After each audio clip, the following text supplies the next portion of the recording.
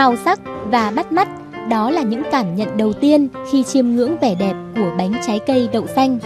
Loại bánh đã xuất hiện từ rất lâu trong nền ẩm thực Việt Nam, vốn chỉ dành cho các vua chúa quan lại thời xưa thưởng thức hay làm đẹp thêm cho mâm cỗ gia đình những dịp lễ Tết, hội hè.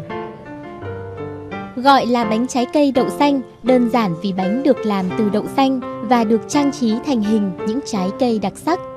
Khiến ai đã có dịp ngó qua món ăn này một lần thì sẽ khó lòng mà quên được.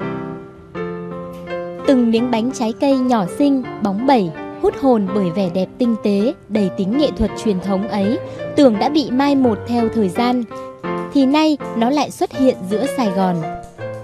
Thu hút người già, người trẻ. Trong số đó, không ít người phải suýt xoa bởi được thưởng thức bánh trái cây đậu xanh, loại bánh quý tộc thủa nào, khiến trong họ gợi lên nhiều xúc cảm. Ấy chính là khi vẻ đẹp và hương vị của bánh đang giúp họ quay ngược con thuyền để trở về với ký ức của tuổi thơ.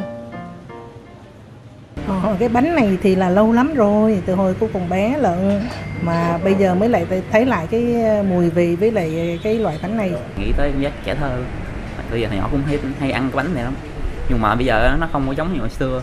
Bởi vì hồi xưa cái bánh nó chỉ là những miếng hình vuông tròn thôi. Bây giờ nó làm hình trái cây rất đẹp mắt. Ăn thấy là rất khá là hấp dẫn. Giống là cái bánh ngày xưa hồi nhỏ mình hay ăn. Nó đặc biệt là ở trong đó thì có đậu xanh, à, rau câu rồi à, nước cốt dừa ăn thì nó cũng hoàn là thiên nhiên thôi nhiều ý kiến cho rằng bánh trái cây đậu xanh có xuất xứ từ cung đình Huế, nơi nổi tiếng với những nhà vườn chĩu quả, cảm hứng cho ra đời món bánh trái cây ngọt thơm, bùi vị, làm đẹp lòng biết bao người thưởng thức. Cũng có người cho rằng bánh trái cây đậu xanh vốn có tên gốc là Canum Luk Chup, một trong 10 món được xếp vào món ăn cung đình của Thái Lan. Trải qua bao năm tháng, bánh trái cây đậu xanh này đã nức tiếng gần xa, không chỉ trở thành một món ăn chơi thường ngày mà còn thích hợp là món quà biếu mỗi dịp Tết đến xuân về.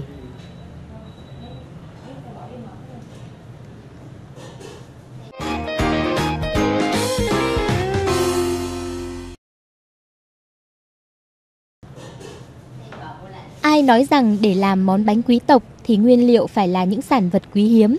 Với bánh trái cây đậu xanh, mọi thứ trở nên dễ dàng hơn vì nguyên liệu vô cùng dân dã. Nào là đậu xanh đã đãi vỏ, hấp chín và tán nhuyễn. Muối Dầu ăn Đường Nước cốt dừa Bột agar hay còn gọi là rau câu Màu thực phẩm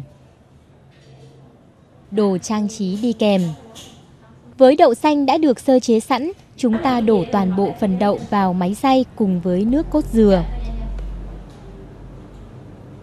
Lúc này, chúng ta có thể nêm thêm đường và muối vào xay chung. Tùy vào sở thích ăn ngọt, béo của mỗi người mà ta gia giảm lượng đường, muối cho vào thích hợp. Quá trình xay bằng máy chỉ mất khoảng từ 3 đến 5 phút đến khi hỗn hợp đậu xanh, nước cốt dừa trở nên mịn là xong. Tiếp đó là công đoạn xào nhân. Người ta vẫn ví cách nấu phần nhân này của món bánh trái cây đậu xanh giống với cách nấu món chè đậu xanh đánh của xứ Huế, nhưng phần nhân thì phải đặc hơn. Mình xào tầm khoảng từ 1 tiếng rưỡi đến 2 tiếng và không được ngưng tay. Vì nếu như ngưng tay á, là bánh cái cái lớp đậu xanh nó sẽ bị khét nó rất là nhanh khét tại vì nó có đường mà rất là nhanh khét khi mà nó bị cháy mình bắt đầu cháy đó. khi mà nó bị cháy như vậy á là mình hỏng cả nguyên một cái cái chảo đậu xanh luôn gần 2 giờ để cho ra được mẻ nhân hoàn hảo thì không phải người phụ nữ nào cũng làm xuể. Vậy nên công việc này vẫn thường được giao cho cánh đàn ông trong nhà đảm nhận. Bên cạnh đó, người đầu bếp cũng chia sẻ thêm, việc xào nhân càng kỹ thì bánh làm ra sẽ để được càng lâu. Nếu dự trữ ở tủ mát thì sẽ dùng được từ 4 đến 5 ngày. Chăm chú, tập trung, người đầu bếp nào cũng ý thức được công đoạn xào nhân là khâu quan trọng nhất của món bánh trái cây. Cứ thế đều tay, đến khi nào nhân đậu xanh trở nên đặc quánh lại, dẻo dai và mềm mịn là lúc chúng ta có thể đổ nhân ra một cái thau để chuẩn bị cho công đoạn tiếp theo, đó là khâu nặn bánh đến đủ cái độ đặc để mà mình có thể nắng bánh á, thì mình sẽ ngưng. Và sau khi ngưng á, là mình sẽ để cho đậu xanh nó nguội. Và nguội xong rồi bắt đầu mình mới nắng tạo hình. Rồi khi tạo hình xong là mình phải nấu cái cái nước ờ, uh, aga người ta gọi là nước thạch á. Thì mình sau đó mình pha pha với màu để mình phối hợp để mình tô màu lên. Và nó mới mình bị chờ cho cái cái cái màu khô đi rồi bắt đầu mình mới trang trí để thực hiện khâu nặn bánh thì nhất thiết chúng ta phải chờ nhân nguội bớt. Trong lúc đó, hãy tận dụng thời gian bằng cách bắc một nồi nước nhỏ lên bếp và ngâm bột rau câu. Quá trình ngâm bột rau câu chỉ khoảng 15 phút là ta có thể bật bếp lên nấu cho bột rau câu sôi. Khi đó, hãy chuyển qua khâu nặn bánh trong lúc phần nhân vẫn còn độ ấm vừa phải. Lấy một nhúm nhỏ nhân đậu xanh rồi vo tròn, tạo kiểu. Vì là món bánh lấy cảm hứng từ thiên nhiên nên các loại trái được tạo kiểu thường rất gần gũi với con người. Trái táo có một đầu hơi lớn hơn là phần cuống, chỉ cần lấy phần đũa nhấn lõm vào một chút và xoay tròn cho có ngấn nhỏ là sẽ ra hình. Trái ớt thì chỉ cần dùng tay vê từ từ nhúm nhân đậu cho dài ra, một đầu to, một đầu nhỏ, sửa cho hơi cong nhẹ một chút là ra hình trái ớt. Các loại trái được nặn xong đều được xiên vào phần cuống bởi một que tre nhỏ. Sau đó nhúng qua một lớp nước agar, rau câu. Cố định que tre để lớp rau câu trên bánh có thời gian khô. Tiếp theo đó là công đoạn pha màu. Để bánh mang hương vị trái cây, người xưa thường sử dụng các loại màu có sẵn trong tự nhiên như sắc vàng từ bột nghệ, hồng tím từ củ dền, xanh cốm từ lá dứa. Tuy nhiên, khi cuộc sống ngày càng hiện đại hơn, thì người ta có nhiều sự lựa chọn cho việc dùng phẩm màu đủ tiêu chuẩn an toàn và chất lượng. Khi phẩm màu được pha trộn với nước rau câu còn nóng sẽ cho ra màu sắc loại trái cây bạn cần. Lấy một cây cọ và phết đều màu lên trái bánh, ta sẽ có một miếng bánh trái cây đậu xanh đúng loại hảo hạng. Trái ớt có màu đỏ tươi và trái mận thì lên màu hồng nhạt. Cứ thế, các loại quả được tạo màu tươi sắc, chẳng khác những trái cây thật, chỉ là tí hon hơn thôi. Phẩm màu bên Châu dùng là Americolor là phẩm màu nổi tiếng nhất của Mỹ và hầu như tất cả các tiệm bánh nào nổi tiếng trên thế giới đều biết về phẩm màu này. Và nếu mà nói về um, tại sao mình lại dùng phẩm màu mà không dùng màu tự nhiên thật của trái cây thì uh, nếu màu tự nhiên thật của trái cây thứ nhất là chi phí nó sẽ cao lên rất là nhiều hầu như các bạn không thể nào mà trải nghiệm được cái món bánh này và thứ hai đó là nếu như muốn giữ màu cho đẹp giống như màu sắc sảo như thế này bạn bắt buộc phải có một tí xíu cái chất giữ màu thì nó cũng khá là độc hại cho mình.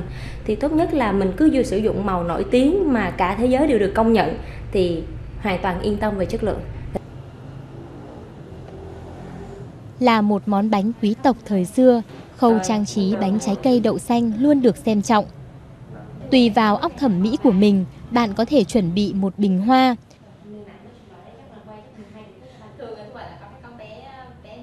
Vài chiếc lá xanh làm nền những cánh hoa sen thanh thoát để trang trí cho dĩa bánh trái cây của mình. Mọi thứ đều có thể sáng tạo để món ăn tươi ngon, lành tính và sặc sỡ này trở nên thêm phần bắt mắt. Từng chi tiết tỉ mỉ từ cách nặng bánh nè, cách phối hợp màu, mình nghĩ mình đang là một họa sĩ chứ không phải là một người nghệ nhân nặng bánh nữa, một người nghệ họa sĩ. Tại bạn thấy từng cái trái như thế này, đó, mình có thể là tạo hình hay là mình pha màu thế nào để cho nó thật giống trái cây thật để tạo bắt mắt cho mọi mọi người? Ở Sài Gòn, hiện cũng không có quá nhiều nơi bán loại bánh trái cây này. Và là loại bánh làm thủ công, nên bánh cũng không để được lâu và thường phải đặt trước mới có. Bánh được dự trữ trong ngăn mát tủ lạnh, thường sẽ dùng được từ 4 đến 5 ngày mà vẫn cho vị thơm ngon truyền thống. Đưa miếng bánh trái cây đậu xanh lên miệng, cảm nhận sự mát lạnh tan chảy ngay đầu lưỡi. Kế đó là độ giòn tan của rau câu trong từng miếng bánh. Hương thơm của đậu xanh lan tỏa cùng với vị béo ngậy, dẻo dai và vị ngọt của đường. như khiến làm hài lòng bất cứ ai.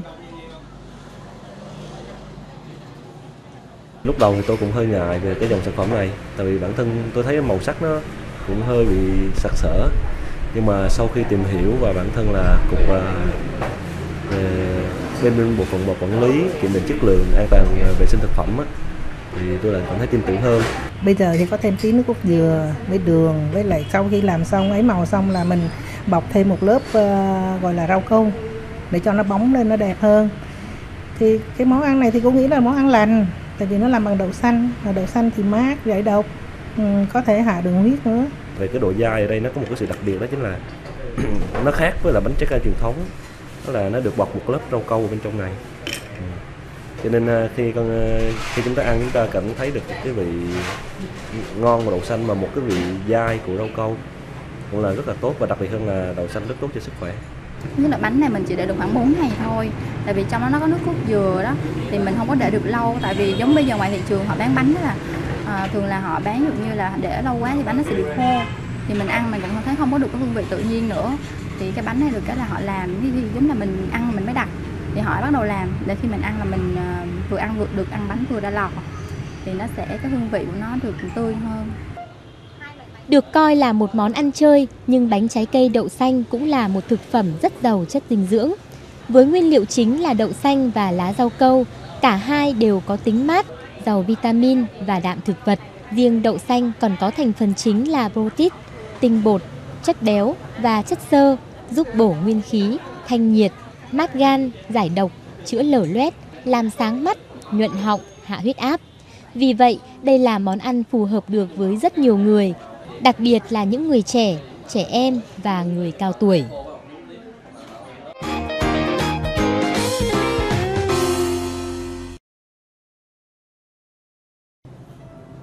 Nguyên liệu tuy đơn giản, nhưng công thức làm bánh trái cây đậu xanh lại rất kỳ công. Trong thời buổi các vật phẩm thủ công rất được ưa chuộng như hiện nay, thì món bánh trái cây này nghiễm nhiên được cho là đặc sản, thu hút được sự chú ý của rất nhiều những tín đồ ẩm thực gần xa, đặc biệt là những người ưa sự tinh tế trong mùi vị và sự thẩm mỹ trong món ăn. Là món ăn được tạo hình không khác gì các loại trái cây thu nhỏ. Bánh trái cây đậu xanh với tiêu chí chất lượng và thẩm mỹ đang là một trong các món quà Tết độc đáo nhân dịp Xuân Ất Mùi 2015 đang đến rất gần. đặc biệt hơn đây là cái món truyền thống của người Việt Nam mình cho nên là tôi ăn tôi thấy ngon và cũng muốn giới thiệu cho những người bạn của tôi và đặc biệt hơn là có thể là trong thời gian Tết tôi sẽ mua biếu uh, cho những người thân của tôi trong gia đình. À, món quà này thì để tặng ngày Tết thì rất là tốt bởi vì nó là một món truyền thống mà những người bạn của tôi rất là thích.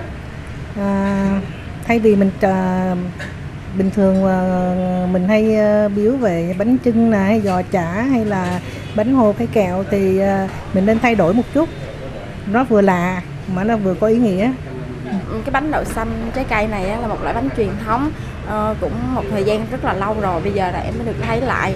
Ừ, em cũng rất là vui. Ừ, em cũng ờ, giới thiệu cho bạn bè mà cái cái loại bánh đậu xanh này cũng thích hợp là một quà tặng trong những dịp gì đó. Uh, em cũng thích mua về để cúng dịp tết nữa chị. Uh, để trưng trong tết thì rất là đẹp tại vì nhìn nó rất rất giống là thật. Mới được nghe một người bạn thân à, giới thiệu với mình là có ở đây có một cái quán là, là bánh đậu xanh mới khai trương nên mình cũng tìm đòi tìm hiểu rồi tới để, để ăn thử. À, tại đây là dịp gần tết mình muốn tặng quà cho bạn gái mình trong vào dịp tết.